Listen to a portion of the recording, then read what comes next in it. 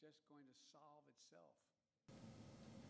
There's an alarming rise in the number of our people in this country condoning political violence or simply remaining silent because silence is complicity.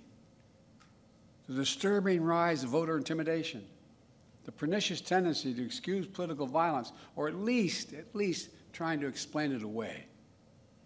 We can't allow this sentiment to grow. We must confront it head on now. It has to stop now.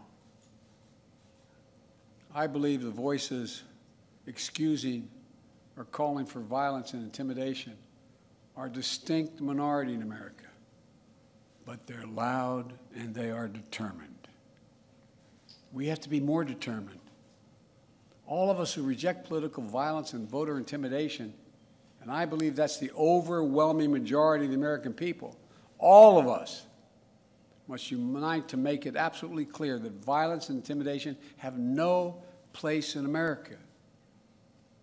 And third, we believe in democracy. That's who we are as Americans.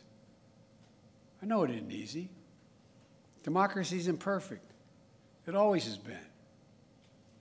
But we're all called to defend it now, now. History and common sense tell us that liberty